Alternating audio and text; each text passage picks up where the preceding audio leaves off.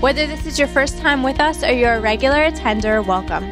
We're glad you're here and we want to connect with you. Please take a moment to fill out the connection card that's in your program with as much information as you feel comfortable sharing. On the back of this card is a prayer request form. If you have a prayer request, just let us know by dropping it in the offering basket.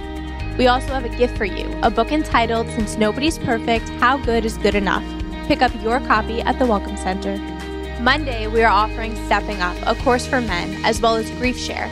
Stepping Up meets at 7 in the sanctuary, and our Grief Share rooms meet on the lower level. This month, we offer a new four week course called The Overcoming Life. We will be looking at how to conquer challenges we face in life and gain confidence in every situation through hope and security in God. Celebration Station will be running as well for all of our children. Tuesday night at 6:30 we offer Clean for men of all ages. At 7 we offer Pathway, our 12-step ministry.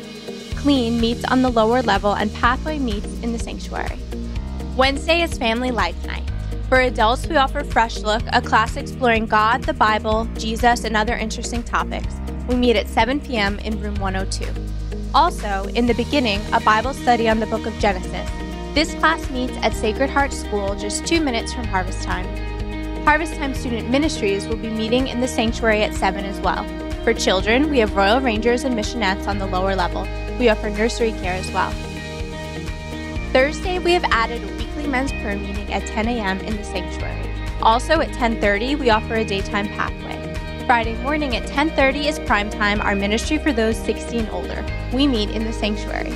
This Friday evening is Connection, our Portuguese language worship service. We meet at 8 in the sanctuary. If you have any questions or would like more information on any of our classes, please feel free to stop by our Welcome Center or visit our website at htchurch.com. Follow us on Facebook, Twitter, and Instagram for our church updates.